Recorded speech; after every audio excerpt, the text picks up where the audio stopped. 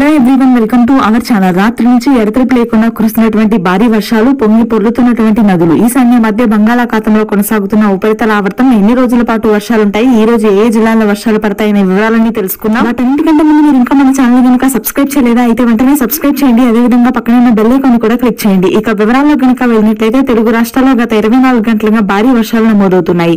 ఈశాన్య మధ్య బంగాళాఖాతంలో ఏర్పడిన అల్పపీడనం ఉత్తరాంధ్రకు విస్తరించింది. ఛత్తీస్గఢ్ విదర్భ మీద కొనసాగుతున్నటువంటి ఈ ఉపరితల ఆవర్తన ప్రభావంతో ఉత్తర తెలంగాణ అదేవిధంగా ఉత్తరాంధ్ర జిల్లాలో భారీ వర్షాలు కురుస్తాయని వాతావరణ కేంద్రం వెల్లడించింది.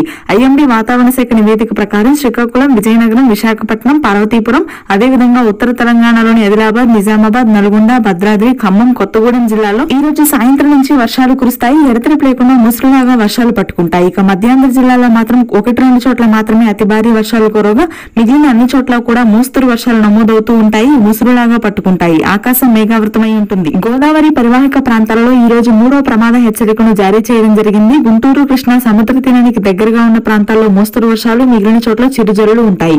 తెలంగాణ విషయానికి వచ్చినట్లయితే కరీంనగర్ అర్బన్ ప్రాంతాలు వరంగల్ హైదరాబాద్ ఎగువ ప్రాంతాలైనటువంటి జీడిమెట్ల కూకట్పల్లి హుమాయత్ నగర్ జిహెచ్ఎంసీ మణికొండ నాంపల్లి ఉప్పల్ కూకట్పల్లి అమీర్పేట రాజన్న సిరిసిల్ల కొత్తగూడెం ప్రాంతాల్లో భారీ వర్షాలు కురవగా ఇక వి- వికారాబాద్ మహబూబ్ నగర్ గద్వాల్ ప్రాంతాల్లో ఆకాశం మేఘావృతమై ఉంటుంది కానీ భారీ వర్షాలు మోస్తరు వర్షాలు కురిసే అవకాశం లేదు. దక్షిణ ప్రాంతంలో ఉన్నటువంటి రాయలసీమలో కూడా చాలా తక్కువ వర్షపాతం నమోదవుతుంది. అత్యధికంగా ఉత్తరాంధ్ర తెలంగాణ జిల్లాల్లో భారీ వర్షాలుంటాయి. Thanks for watching this video